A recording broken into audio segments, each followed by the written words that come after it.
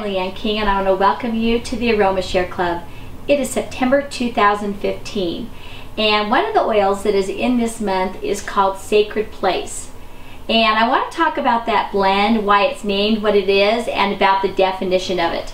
So the definition says, formulated with high frequency energy oils and designed to generate similar high frequencies in any environment.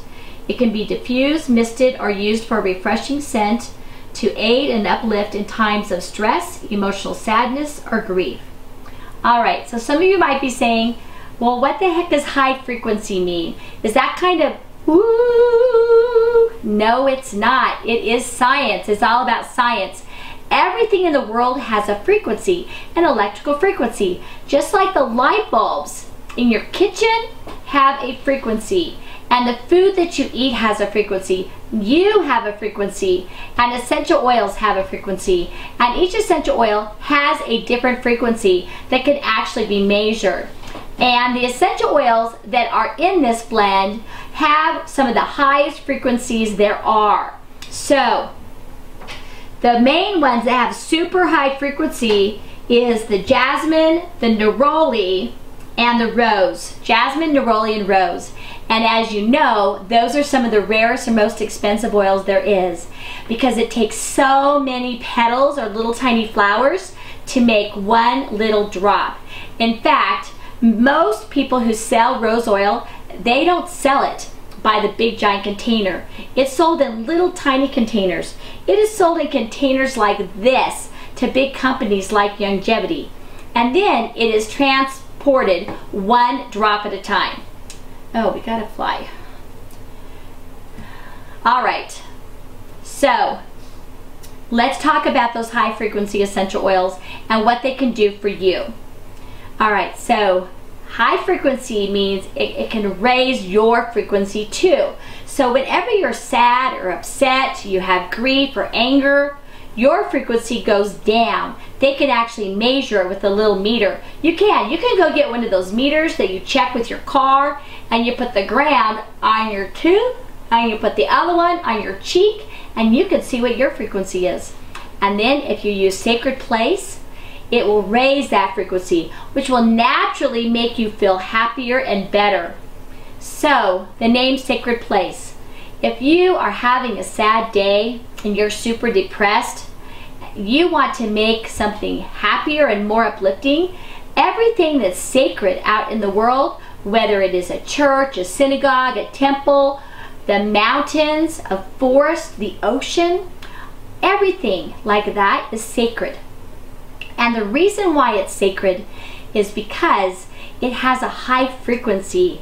It can be measured. Do you know that they have measured when people pray?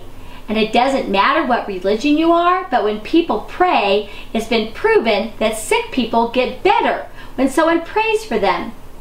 All right, so what we want to do is we want to bring some of that same high frequency into our environment. And we can do that with essential oils that have a high frequency.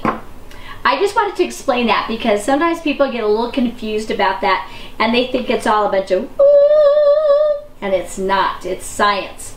All right, so I'm going to make a Let's Clear the Air mister and what we're going to be clearing the air of is negative vibes or low frequency. All right, so we have two ounces of water.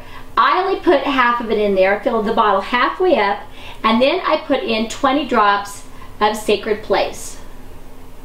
And if I said sacred space earlier, I apologize.